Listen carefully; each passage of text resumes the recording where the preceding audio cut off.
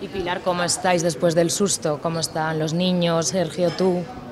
Bueno, eso es un tema de que mmm, supongo que por lo que he visto, ¿no? que, que estáis preocupados y, y, agradezco muchísimo vuestro interés, de verdad, pero es un tema que está en manos de las autoridades competentes y entonces pues no puedo dar bueno, mucha información. Pero ¿cómo estáis vosotros? Una, ¿no?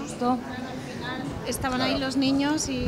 Bueno, yo creo que hay cosas que, que son evidentes y tampoco es el momento de, de expresarlas. Eh, pero bueno, eh, lo importante es que siga adelante la investigación y punto.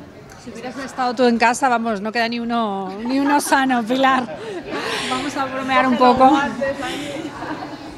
Eh, evidentemente nuestros compromisos profesionales pues a veces nos obligan a estar fuera de casa, sobre todo porque no tenemos un horario fijo, eh, pero lo importante es que, que estamos aquí hoy presentando esta línea nueva de Selmark y seguimos hacia adelante.